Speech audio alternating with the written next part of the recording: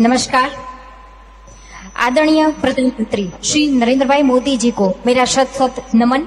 मैं हेतल जानी गुजरात के सुरेंद्रनगर ज़िले से बोल रही हूँ। मैं आपसे एक सवाल करना चाहती हूँ कि भारतीय जनता पार्टी के खिलाफ कई दल एकजुट होकर भारतीय जनता पार्टी के खिलाफ कई दल एक कई दल एकजुट होकर अ, लड़ने एक, लड़ने की कोशिश कर रहे हैं और अलग अलग सोच वाली और एक दूसरे के खिलाफ लड़ने वाली पार्टियाँ भी आज एकजुट होकर दिखावा कर रही है, नाटक कर रही है तो आप इसे कैसे देखते हैं? मुझे लगता है आपको भारी गुस्सा है लोगों पर।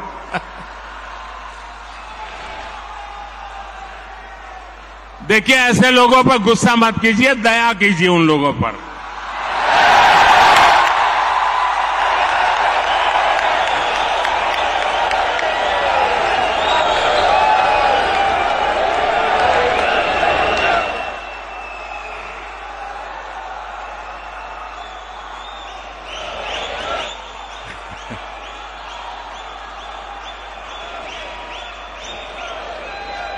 अच्छा आपको याद होगा, जरा मैं पुरानी बात याद कराता हूँ।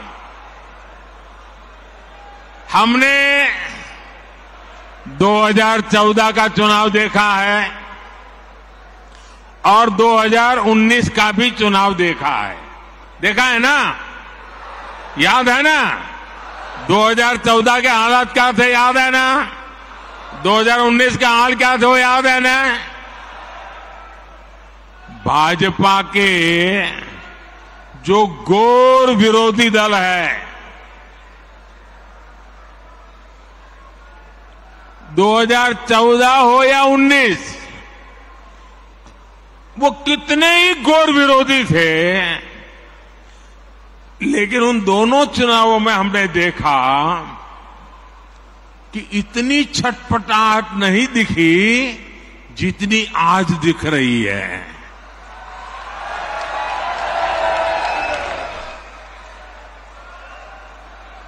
जिन लोगों को कुछ लोग पहले अपना दुश्मन बताते थे, पानी पी पी कर कोसा करते थे, गालियाँ देते थे, अब उन लोगों को आगे जाकर वो साष्टांग प्रणाम कर रहे हैं, नतमस्तक हो रहे हैं।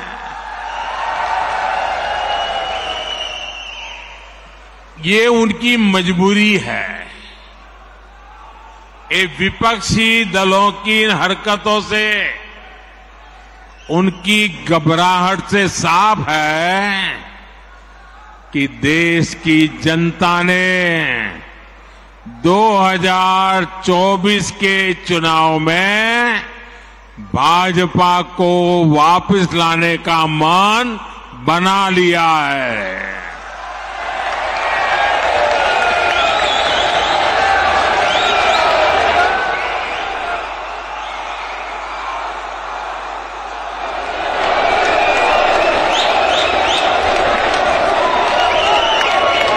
दो हज़ार चौबीस में फिर एक बार भाजपा की प्रचंड विजय तय।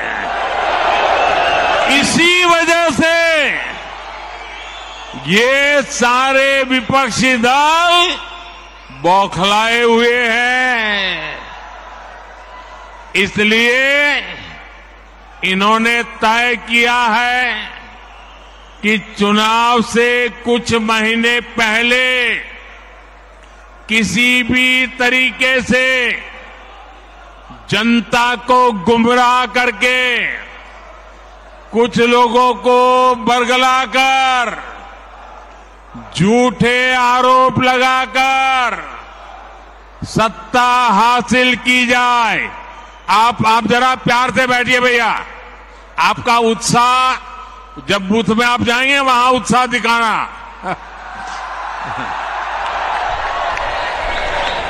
आजकल जरा एक, जरा ध्यान से सुनिए, आपको मज़ा आएगा। एक बात मैं आपको बताता हूँ। आप बैठिए। आगे आने की कोशिश मत कीजिए भैया। आप बैठिए। आजकल एक नया शब्द बहुत पॉपुलर किया जा रहा है। वो शायद शब्द आपके कान पर भी आया होगा। वो जो नया शब्द पॉपुलर किया जा रहा है, वो शब्द है गारंटी बार बार शब्द आता है गारंटी भाजपा के कार्यकर्ताओं की ये बहुत बड़ी ज़िम्मेदारी है कि लोगों को बताएँ कि असल में ये विपक्षी दल किस चीज़ की गारंटी है। जानना चाहिए भाई? ये विपक्षी सब जो है, वो किस चीज़ की गारंटी है? ये सारे लोग, ये दल गारंटी है भ्रष्टाचार की। ये गारंटी है लाखों करोड़ रुपयों के घोटालों की। कुछ दिन पहले इनकी एक फ़ोटो ऑप कार्यक्रम हुआ था। मिलकर के फ़ोटो निकालने का एक कार्यक्रम हुआ था। इस बैठक में शामिल दलों के इतिहास को देखेंगे तो पता चलेगा कि वो सब मिलकर के जितने भी लोग वो फ़ोटो में दिखते हैं ना एक एक को जरा देख लीजिए। उन सबका मिलकर के टोटल लगाएँगे। तो ये सारे मिलकर के कम से कम 20 लाख करोड़ के घोटाले की गारंटी है।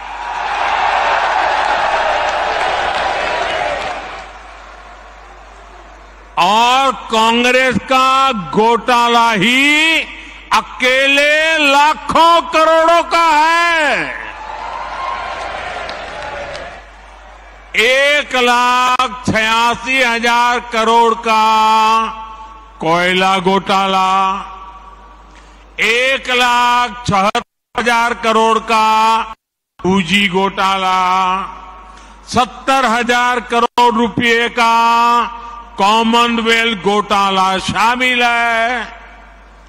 दस हज़ार करोड़ रुपए का मनरेगा घोटाला हेलीकॉप्टर से लेकर सबमरीन तक कांग्रेस के घोटाले से कोई ऐसा क्षेत्र नहीं है जो कांग्रेस के घोटाले की हाथ का शिकार न हुआ हो। अब दूसरा देखिए, आरजेडी हज़ारों करोड़ के घोटाले का आरोप है। चारा घोटाला, अलकतरा घोटाला, पशुपालन शेड घोटाला, बाढ़ राहत घोटाला, आरजेडी के घोटालों की इतनी लंबी सूची है, अदालतें भी थक गई। एक के बाद एक सजा घोषित करती चली जा रही है। उधर तमिलनाडु में देखिए डीएमके पर अवैध तरीके से सवा लाख करोड़ की संपत्ति बनाने का आरोप।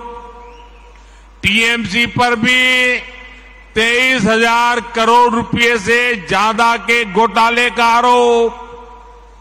रोजवेली घोटाला, शारदा घोटाला, शिक्षक भर्ती घोटाला, गो तस्करी घोटाला और कोयला तस्करी घोटाला। बंगाल के लोग ये घोटाला कभी भूल नहीं सकते। अगर मैं एनसीपी की बात करूँ तो एनसीपी पर भी करीब करीब सत्तर हज़ार करोड़ रुपए के घोटालों का आरोप है। महाराष्ट्र स्टेट कोऑपरेटिव बैंक घोटाला, महाराष्ट्र सिंचाई घोटाला, अवैध खनन घोटाला, इनकी लिस्ट भी बहुत लंबी है। इन पार्टियों के घोटालों का मीटर कभी डाउन ही नहीं होता। मैं तो कहूँगा कि बीजेपी के किसी कार्यकर्ता को कोशिश करनी चाहिए कि इन पार्टियों का घोटाला मीटर बनाने की। एक बढ़िया, आप में से जो इनोवेटिव हो ना, बढ़िया इनके घोटालों का मीटर बढ़ा दीजिए। हाँ। इन पार्टियों के पास घोटालों का ही अनुभव है। इसलिए अगर कोई गारंटी है इनकी तो एक ही गारंटी है और वो गारंटी है घोटालों की गारंटी। अब देश को तय करना है, क्या ये घोटालों की गारंटी को देश स्वीकार करेगा। देश स्वीकार करेगा। लेकिन दोस्तों, मैं आपके बीच में से पल करके बड़ा हुआ हूँ। आपसे साथ काम करते करते आपने मुझे यहाँ पहुँचाया है। तो आज मैं भी एक गारंटी देना चाहता हूँ। दे दो। दे दो।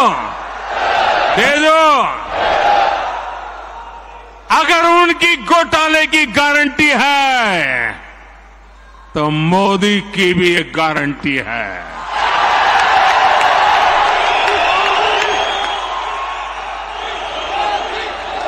और मेरी गारंटी है, हर घोटालेबाज पर कार्रवाई की गारंटी।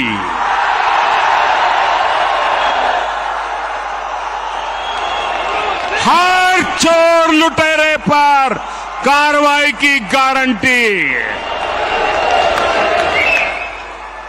जिसने गरीब को लूटा है, जिसने देश को लूटा है, उसका हिसाब तो हो करके रहेगा।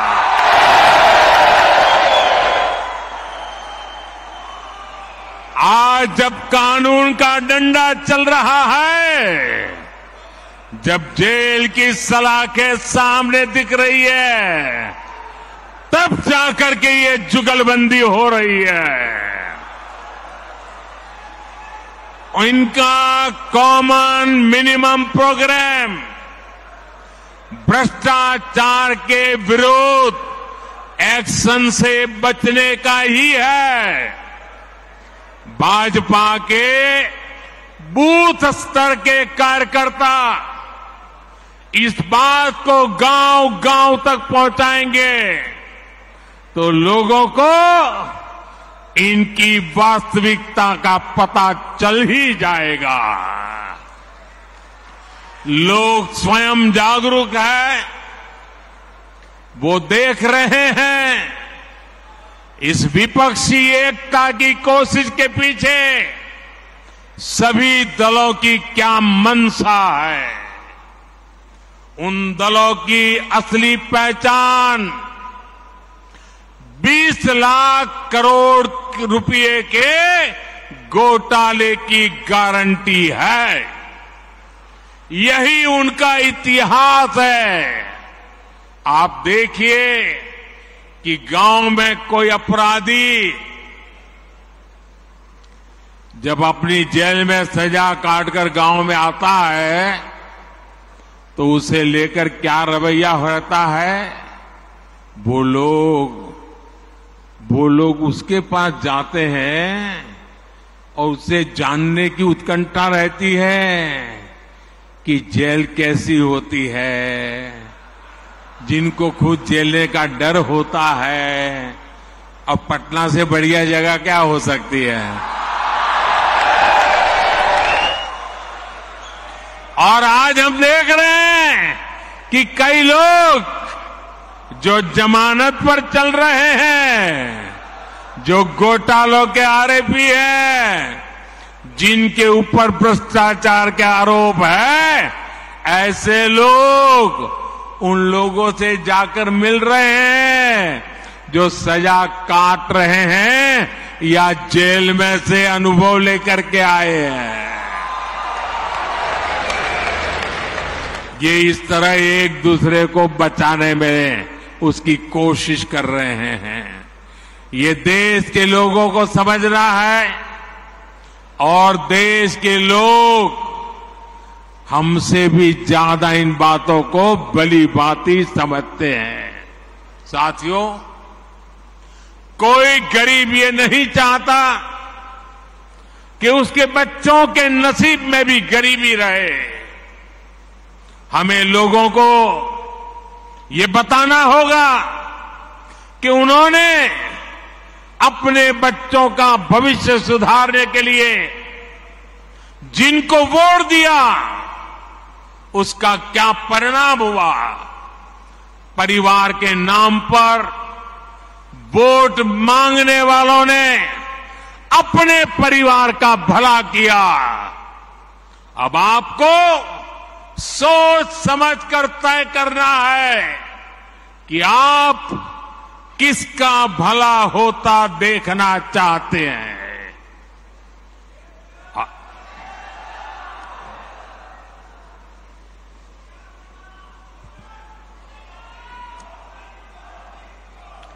आपको गांधी परिवार के बेटे बेटी का विकास करना हो तो फिर कांग्रेस को वोट दीजिए। आपको मुलायम सिंह जी के बेटे का भला करना है तो फिर समाजवादी पार्टी को वोट दीजिए। अगर आप लालू परिवार के बेटे बेटियों को उनका भला करना चाहते हो तो आरजेडी को वोट दीजिए। आपको शरद पवार जी की बेटी का भला करना हो तो आप एनसीपी को वोट दीजिए। आपको अब्दुल्ला परिवार के बेटे का भला करना हो तो आप नेशनल कॉन्फ्रेंस को वोट दीजिए। आपको करुणानिधि जी के बेटे बेटियों पोते पोतियों का भला करना हो तो डीएमके को वोट दीजिए। आपको के चंद्रशेखर राव की बेटी का भला करना हो तो आप बीआरएस को वोट दीजिए। लेकिन लेकिन मेरी बात ध्यान से सुनिएगा। मेरे देशवासियों, मेरी बात ध्यान से सुनिएगा। अगर आपको अपने बेटे का, अपनी बेटी का अपने पोते का, अपनी पोती का, अपने नाते का, अपनी नाती का। अगर आपको अपने परिवार के बच्चों का भला करना है तो आप वोट भाजपा को दीजिए।